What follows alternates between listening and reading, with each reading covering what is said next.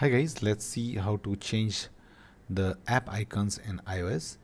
So the very first method is that you should choose the app icon okay and save it in your photo gallery so let's say I am searching iOS photos app icon and let's say I find a cool okay this thing I like it okay and I want to set it as photos app gallery icon. You can change any app icon using this method.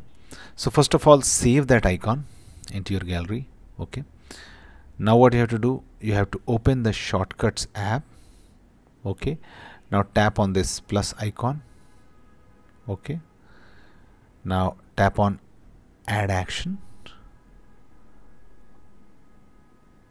and search open app okay. Select it.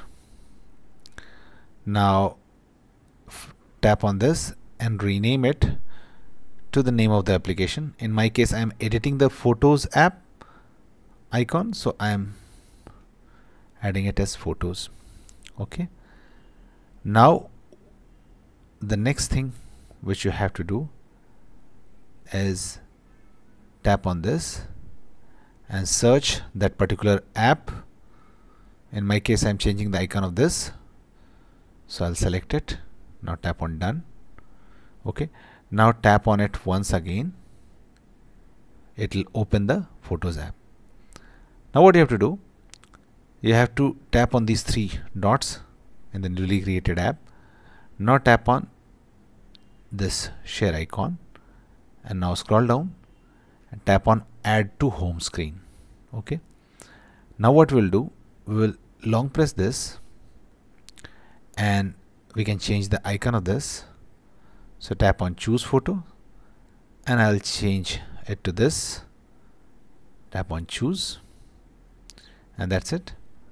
Tap on add. Finally tap on done. Okay? Now you can see that a shortcut has been created of my photos app. Now whenever I will click it you know it will open that app. Okay? So in this way you can change the app icon. Okay? And in this case I have changed the app icon of my photos app. Basically I have created a new app. And the original app is already there. But I have created a new app and I have put a shortcut here. That's it guys. Please do like the video to support us and thanks for watching the geek page